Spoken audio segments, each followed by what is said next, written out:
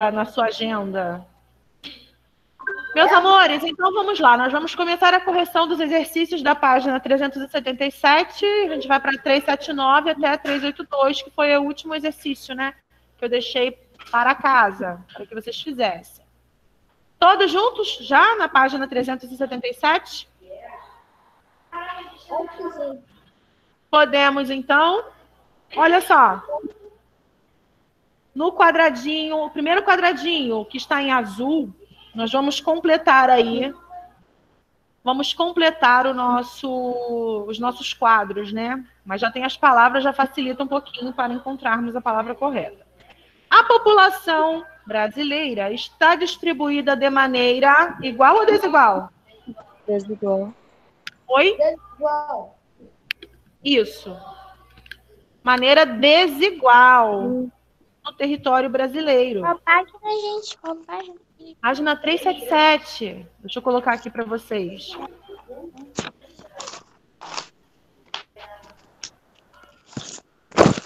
É.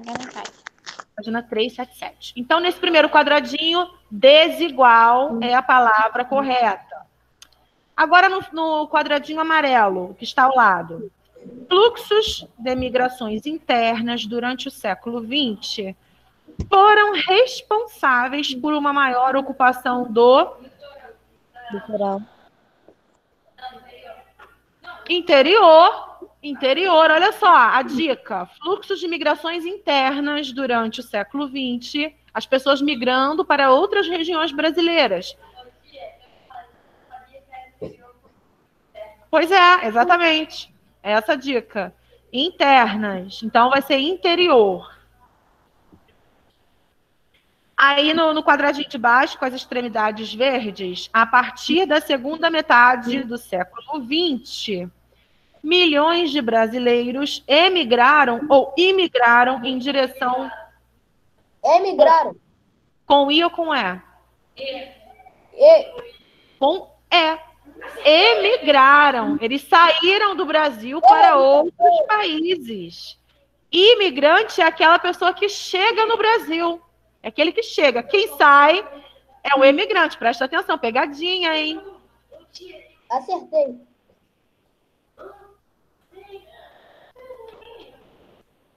No quadrado do lado rosa, o Brasil também recebe Imigrante. muitos, Imigrante. agora sim, imigrantes com I, que estão em busca de oportunidades de trabalho, fugindo de guerras e conflitos ou em busca de melhores condições de vida. Agora, no quadradinho com as extremidades azuis, a população economicamente ativa, PEA, do Brasil, é composta por pessoas que exercem algum tipo de trabalho remunerado, é aquele que recebe um salário, ou é voluntário? Remunerado. remunerado, tá? Então, nesse primeiro aí, remunerado. E também por pessoas desempregadas ou aposentadas? Des-. Desempregadas. Bem. Então, neste, remunerado e desempregados, tá bom? Os aposentados, os que estão acima dos 65 anos, eles entram no- na classificação de população não economicamente ativa. Já trabalhou, agora está curtindo a sua aposentadoria. Que- mas você nem. Gente, Da- Davi, olha só, gente. Davi nem chegou a trabalhar ainda e ele me diz com a cara lavada que ele queria já estar assim aposentado. Olha isso. Ele nem, nem começou ainda a trabalhar. Quando ele tiver que acordar muito cedo para trabalhar. É, posso com isso? Essa sou eu, 24 horas por dia. Meu Deus do céu! Ô, tia, Olha, fala tudo, é tudo tem, um- tudo tem um ônus. Para ser aposentado, já tem que ter uma idade mais avançada. Aí. Professor, eu tenho 80 anos. Entendeu? Aí é outra história. Professora, Oi. já sou aposentado, tenho 80 anos já. Quê? Já tenho 80 anos já. Uhum. Eu mentalmente, é, minha mentalidade, assim, meu físico, assim, também, minha preguiça, tudo de 80 anos. E pouco. Jesus, Maria. Nossa senhora, que que é isso, minha gente? Vamos que vamos, vocês têm tudo ainda pela frente. Eu nessa quarentena eu fui sedentária. Eu não consegui andar, não consegui fechar da minha casa, fico com dor. Dói tudo. Ih, mas você tá muito nova pra ficar assim, Yasmin. Ih, professora, eu tenho perda de memória, eu tenho tudo. Oi? Professora, Eu esqueço tudo. professora, eu acho que eu tenho uns 800 anos, porque eu toda hora eu esqueço de alguma coisa. Ah, mas isso aí, isso aí não é só da idade, não. Matusalém? É, Professora, professora, Vamos eu, lá, fala, eu não lembro nem o que eu tomei de café da manhã hoje. Ó, vamos, vamos aí melhorar isso aí, tomar vitamina pra melhorar, hein? Professora, Ó, é verdade que peixe melhora a memória? Que o que melhora a memória? Peixes, comer peixe melhora a memória? Ah, porque o peixe ele é rico em ômega 3. O ômega 3 ele é bom também. Ó, no quadradinho amarelinho que está aí no, no- na página 377, as igualdades ou desigualdades? Desigualdade. Desigualdades sociais no Brasil podem ser observadas na distribuição de renda da população, nas condições de vida vistas nas paisagens e nas oportunidades. Então, desigualdades. Nós vimos isso na aula passada, né? Quadrinho do E o aumentando. E o último quadradinho, a participação feminina no mercado de trabalho vem, Aumentando. graças a Deus, né? Vem aumentando, sobretudo em razão do aumento da escolaridade das mulheres e necessidade de chefiar as famílias. Agora lá na página 379. Professora, Oi. é, qual, o, qual é o quadrinho amarelo? Quadradinho amarelo, desigualdades. O segundo, o segundo. Ah, lá em cima, interior. Ah, tá, então eu acertei. Aqui, na página 379, nós temos as imagens a seguir. As imagens a seguir representam diferentes povos que tiveram grande contribuição na formação inicial da população brasileira. Observe as imagens e ligue aos respectivos nomes. Facílimo, né? A primeira imagem, Indígena. Indígenas. A segunda, Africano. africanos. E terceira, Europeus. europeus, tá certinho. Agora, agora, não, foi o meme, ele falou de brincadeira, gente. Agora, explique o que significa dizer que a população brasileira é resultado de uma miscigenação. Miscigenação é mistura de raças. Professora, a gente vai ter Kahoot? Hã? Hoje vai ter Kahoot? Não, primeiro vamos fazer a correção, vamos fazer exercícios. Eu posso falar?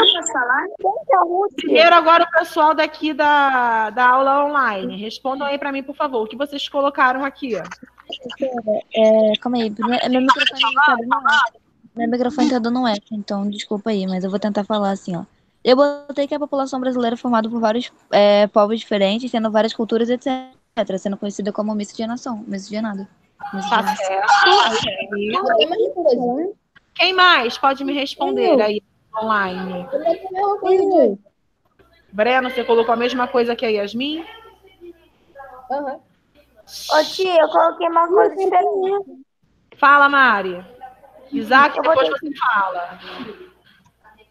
Uma cultura diferenciada da outra. Então, uma miscigenação que fez o nosso país.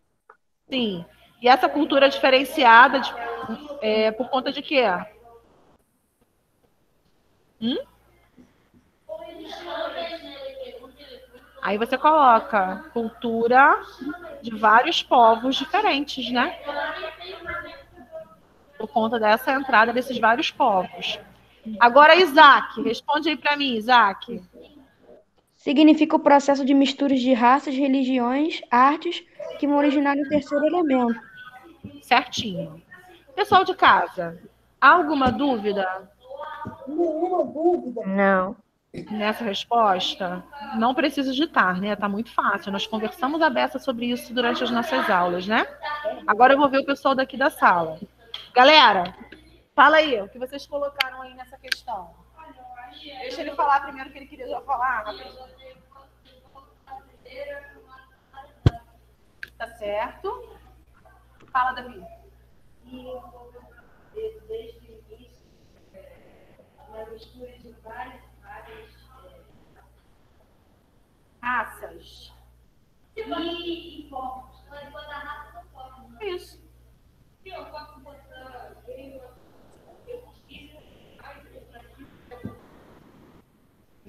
O quê? Ah.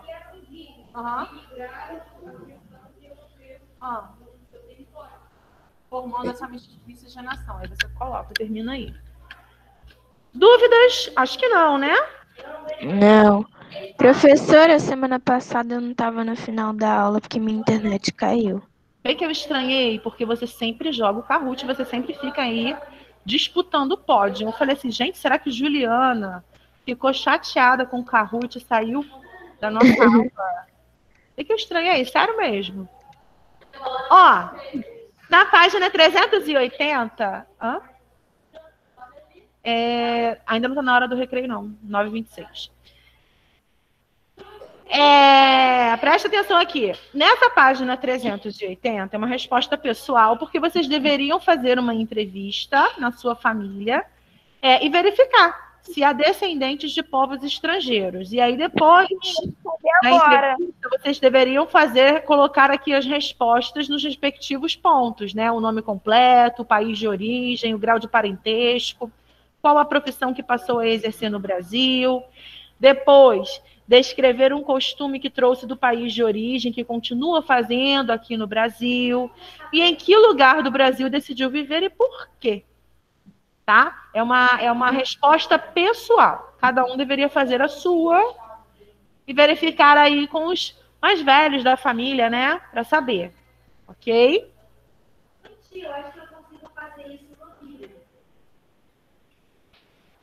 Alguém chegou a fazer essa entrevista? Alguém aqui chegou a fazer essa entrevista e aí, aí em casa também alguém fez? Não, mas eu sei de cabeça que eu Eu, tenho. eu não parei de estudar com Mara fora do país hoje estrangeiros. Mas tem que fazer. Eu esqueci.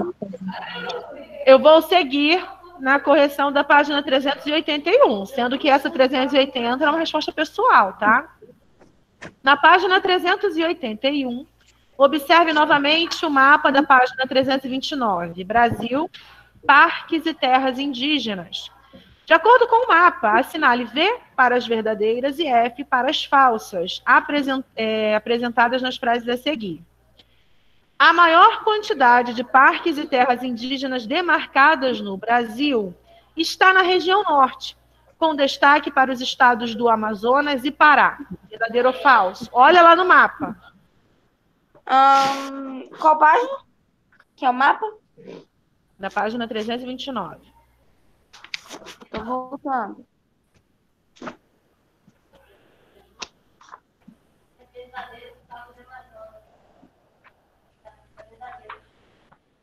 É verdadeiro ou falso? O pessoal daqui não respondeu. Verdadeiro.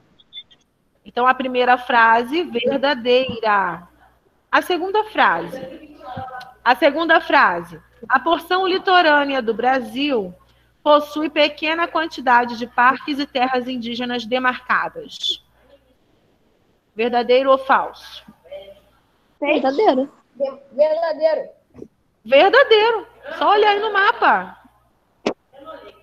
Existe uma grande quantidade de parques. Oi, Mariana. É porque tinha que tudo. É, ué, porque já deveria ter sido feito.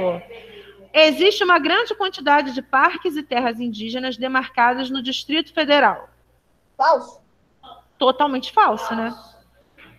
De acordo com o mapa, não existem parques e terras indígenas demarcadas no estado do Piauí. Falso. Verdadeiro. Falso, né? É verdadeiro. Exi- No Piauí existe?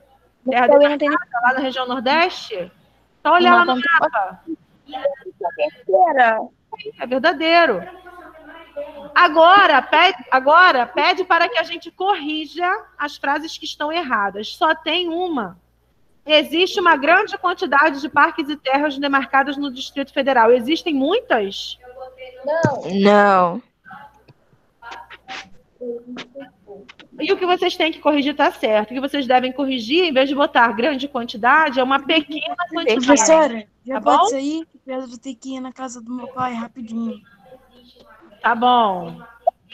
É uma pequena quantidade, o que tem que consertar. Ok? Tá certo. Agora vocês vão dar uma paradinha para irem ao intervalo de vocês. Daqui a pouquinho a gente volta. Tá bom? Certinho. Tia, não é de 20? Oi? Pode? Pode?